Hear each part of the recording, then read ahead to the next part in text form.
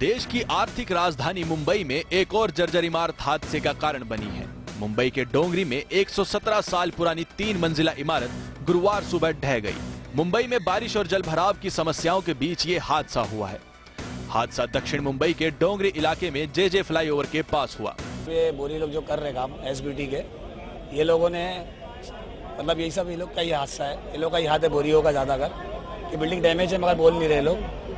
और काफ़ी लोग मरे नौ लोग मरे, ग्यारह लोग इंजर्ड है अभी। सत्रह घंटे हो गए इस ऑपरेशन में, और इस ऑपरेशन में अभी तक हम लोगों ने 35 डेड और इंजर्ड विक्टिम 35 निकाले हैं, जो कि 13 इंजर्ड थे और बाकी के डेड सही एनडीआरएफ की तीन स्ट्रॉन्ग टीम लगी हुई है, और state of the art equipment हमारे पास है, जो कि इंटरनेशनल स्टैंडर्ड के हिसाब से हम इसको C S S R operation में यूज़ करते हैं। मुंबई बिल्डिंग हादसे में बड़ा खुलासा हुआ है। कहा जा रहा है कि पुनः निर्माण स्कीम के तहत इस बिल्डिंग का चयन हो गया था, जिसके बाद बिल्डिंग को खाली कराया जा रहा था, लेकिन चौथी मंजिल पर अभी भी चार परिवार रह रहे थे। इसके अलावा ग्राउंड फ्लोर पर भी कैटरिंग यूनिट के कुछ लोग रह रहे थे। जिस वक्त बिल्डिंग गिरी तो ये ग्राउंड फ्लोर पर ही सो रहे थे। वहीं महाराष्ट्र के मुख्यमंत्री देवेंद्र फडणवीस ने भी मौके का दौरा किया।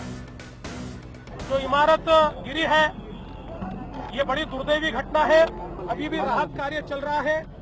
एनडीआरएफ की टीम यहाँ पर काम कर रही है। फायर ब्रिगेड की टीम भी काम कर रही है, जिनको मृत्यु आया है। ऐसे लोगों को, उनकी फैमिलीज़ को पाँच लाख रुपए का कंपनसेशन सरकार देगी। भारी बारिश के बाद मुंबई में जर्जर इमारतों का खतरा मंडरा रहा है। मुंबई में ऐसी सैकड़ों इमारतें हैं, जिन्हें बीएमसी ने खतरनाक घोषित किया है। इससे पहले 26 जुलाई को घाट कॉपर में चार मंजिल इमारत गिरने से 17 लोगों की मौत हो गई थी। इस इमारत में करीब 12 परिवार रहते थे। ये इमारत बीएमसी के खतरनाक इमारतों की सूची में शामिल थी।